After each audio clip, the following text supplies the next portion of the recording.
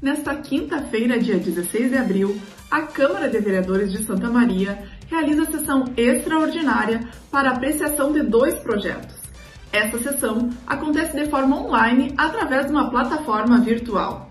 Veja agora os projetos que serão apreciados pelos parlamentares. Projeto de resolução legislativa que estabelece novas orientações e procedimentos quanto às medidas de proteção ao coronavírus. Entre elas está a manutenção da suspensão das sessões plenárias ordinárias e solenes no período de 18 de abril até 3 de maio de 2020. O segundo projeto é um projeto de resolução legislativa que estabelece um plano de contingenciamento de despesas do Poder Legislativo Municipal pelo período de até 90 dias. Essa sessão você pode acompanhar ao vivo através do nosso canal do YouTube TV Câmara Santa Maria e também no canal 18.2 da TV Aberta.